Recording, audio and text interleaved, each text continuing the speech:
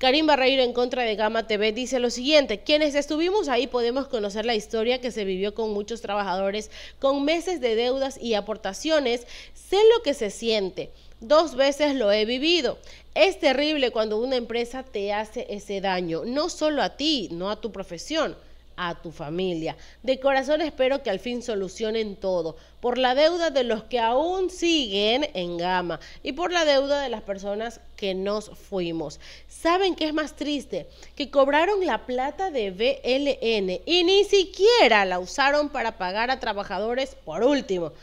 Eso me habría dolido menos se la tragaron y mandaron quién sabe a qué bolsillo. Y hoy se publicó en varios eh, medios escritos, eh, por ejemplo, la hora dice, trabajadores de Gama TV se declaran en huelga y anuncian suspensión de actividades. El 29 de agosto, los trabajadores de Gama TV decidieron salir a las calles, encadenarse en la parte de afuera, hacer huelga de hambre, porque están exigiendo sus derechos. Tienen muchísimo tiempo que no se paga, incluso eh, la empresa no ha pagado las contribuciones al IES. Ustedes saben que el IES para una persona normal, común y corriente es muy importante debido a que por medio de este sistema tú puedes llegar a hacerte atender en una enfermedad súper grave, una operación o algo por el estilo. Y las aportaciones no han sido eh, pagadas por Gama para sus empleados. El secretario de los trabajadores de Gama TV, que se llama Mauricio Herrera, informó que los trabajadores de esta televisora se declararon en huelga,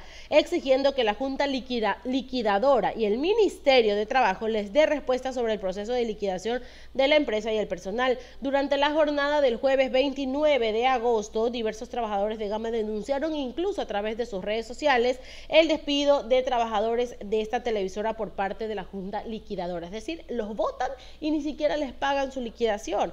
Eh, Herrera también dijo que durante la jornada del miércoles 28 estaba pautada una junta con los accionistas, pero esta no se realizó porque la accionista mayoritaria, que es el Estado de Ecuador, es decir, actualmente está a la cabeza el presidente de la República, no envió a sus representantes y no se llevó a cabo y los puntos de orden del día eran cerrar la operación y liquidar a los trabajadores. No se aprobó porque no se realizó y hoy está haciendo caso omiso a la decisión de los accionistas y se está bueno, haciendo lo que se les da la gana, fue lo que enfatizó, lo que dijo Herrera, que es el secretario de los empleados, ¿no?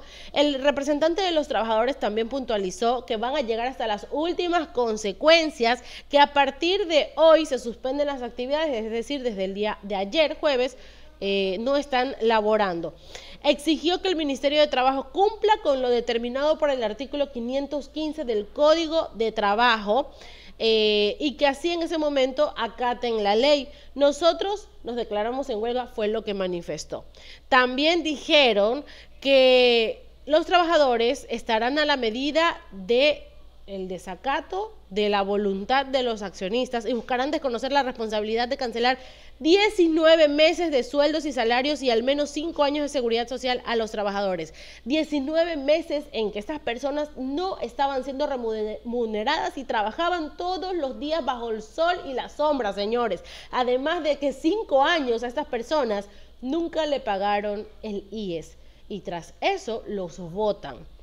Los trabajadores se encuentran en la sede del canal esperando una respuesta aclarar también lo que va a ocurrir. Eh, recordemos que fue en el año 2008 que esta televisora fue incautada por el Estado, es decir, que en este momento nos pertenece a todos, pero ustedes saben que quien administra el dinero del Estado, que es todo el Ecuador, todos los impuestos, es obviamente el presidente de la República y sus delegados, cada uno de ellos. En todo caso, la verdad es muy terrible que esto esté sucediendo, no solamente acá, también pasó en, un en otro canal, está, está, pasando, y yo siento que poco a poco los canales abiertos se van a declarar en quiebra. No sé qué es lo que va a suceder, no sé cuáles vayan a sobrevivir, pero a mí sí me da muchísima lástima, no solo los talentos de televisión, porque al fin y al cabo con tu imagen o con la imagen que ellos tienen pueden seguir haciendo mercado de pulgas, trabajando con marcas, pueden sobrevivir de alguna manera. Quienes sí me dan muchísima lástima son las personas eh, que están detrás de cámara, los productores, eh, eh, los camarógrafos, los locutores, quienes están detrás, quienes hacen todo este tipo de trabajo para poder llegar a la gente y que estas personas de alguna manera puedan llegar hasta sus casas.